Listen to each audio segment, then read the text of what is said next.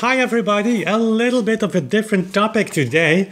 We just came back from Ingolstadt in Germany where we stayed one day with Lorenz Gadient, you know, the by now world famous researcher on historical tempi.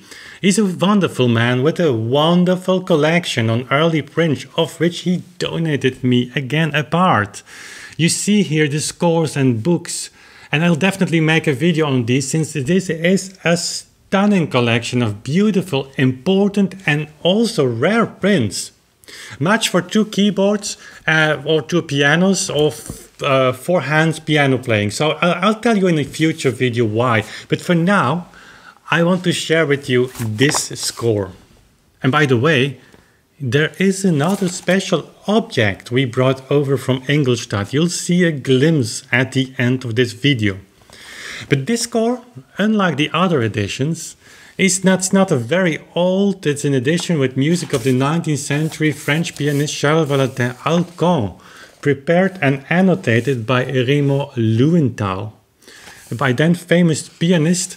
And if you know Lewenthal, who is, or better was, because he passed away in 1988, if you have memories on his playing, perhaps heard him even live, I'd love to read your story in the comment section. Lewenthal he had a pretty dramatic life. He was born in 1923 and he died at the early age of 55. He was a rising star in the piano world until he got beaten very badly in 1953 while walking through New York Central Park by a group of hooligans. Imagine that. He suffered broken bones in both hands and arms. For a pianist, which took years for him to heal. He withdrew from stage and returned only in the 60s with his passion for the music of the legendary contemporary of Liszt Charles Valentin Alkan. Again, this book has little historical value, but it's interesting for, yeah, of course, the metronome numbers. How else could it have, have been part of uh, collection? But another thing than that, opening the book, I saw the dedication by Raymond Lewenthal to a certain Mr. Marc Pincherle. On Pincherle, you find some information on the web. Uh, he appeared to have been a very well known musicologist, born in 1888 and died in 1974. But on the second page of this book, however, I found this letter.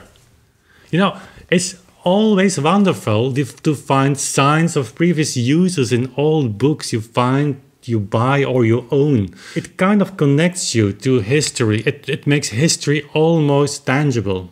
You know, some of the books here in front of me have dates of purchase of 1823. Can you imagine that? That's during Beethoven's lifetime. Those little signs of generations before you, to whom belonged the world before we were born, they transmit, so to speak, their legacy at least a tiny bit to us. And finding a real letter, of course, is the pinnacle of science of the past. It is a living slice of history that comes to you in a very unexpected way. Lewenthal used USA airmail for his letter, and he had a very good reason for it, as we will see. He wrote the letter on July 21st, 1973. He sent it on July 23rd and already by July 28, as we can see in the top left corner, Pincherle replied, Both men have passed away since long, so there should be no problem reading this letter together. It's intriguing, I can tell. It'll draw you into a story immediately. So let's read. So, dear Mr. Pincherle, thanks to your kind help, I had the pleasure of visiting Madame la Générale Pinard when I was in Paris last October for further Alkan research, I did not want to disturb you by calling you at the time. I have already imposed so often on your kindness. However, I find it necessary once again to ask you for some help. As you know, I have been doing research on Alkan for more than 30 years in preparation for a book on him. This year, Someone was helping me with certain details of my work proved to be a thief and a spy. He stole from me information regarding the sources of much of my material and has been passing it on to other people who have gotten interested in Alkan because of my efforts. and who wish to capitalize on my hard work. It is therefore necessary for me to move very swiftly now.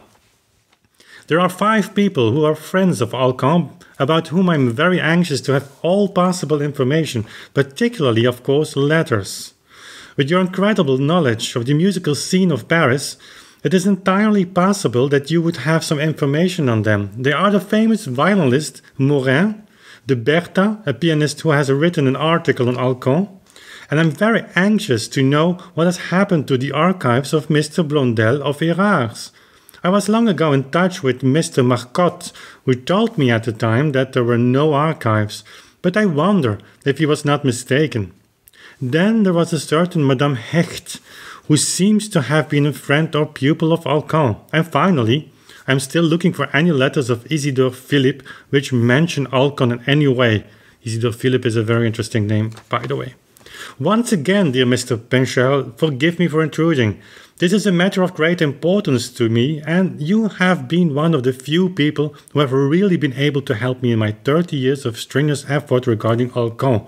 With warmest greetings and kind regards, faithfully yours, Remo Lewenthal. So, Lewenthal was working since 30 years on a book on the life and works of Alkan. He had assistance in his research, but apparently made a wrong decision in his selection.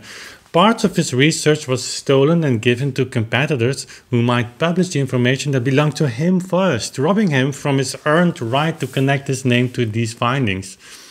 How cool is it, however, to be transported back in time witnessing the way musicians and musicologists had to do research? We have quickly forgotten in our times how much of help Mr. Google is to any one of us or tempo research would take many, many, many years longer if we didn't have this unbelievable access to digitized libraries where Google even searched the scanned PDFs for us. Nothing of all of that back in 1973.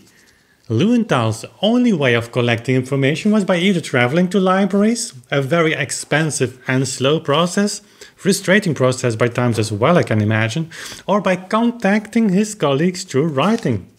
This latter is the more intriguing since, from what I've learned through some quick searches on, yes, Google, that Lewenthal has never finished his book.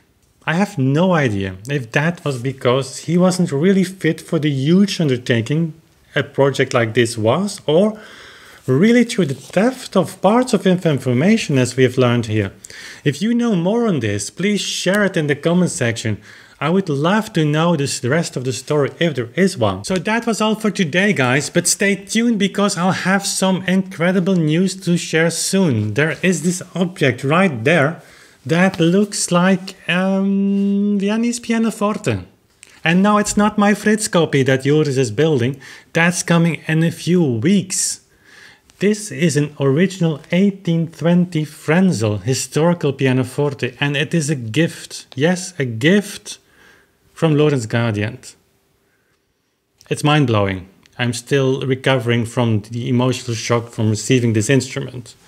It is too soon for me to share it on YouTube. The instrument needs to settle a bit, especially the tuning. I've brought back the pitch down a little bit. But if you really can't wait for it to have more information, you might want to become a patron for Authentic Sound. Link is in the description below because there I'll share with my patrons some rough information this week, some unpolished videos and pictures on the instrument, which are hard to share on YouTube. So the next hangout also with the patrons will be at that piano.